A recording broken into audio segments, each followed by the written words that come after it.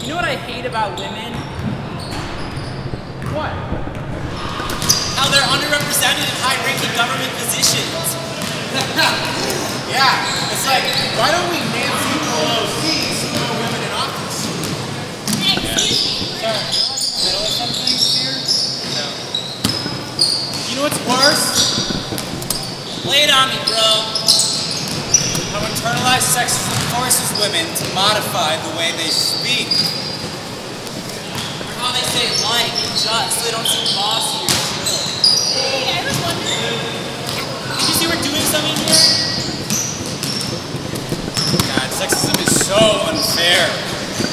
Yeah. Oh, and hey, speaking of unfair, how about you pass to me a couple more times? What are you, Congress trying to control women's health care?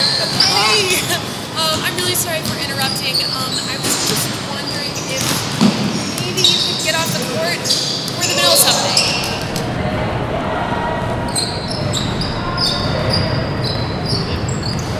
Like someone's PMSing. Whoa! Three points! Whoa! Whoa!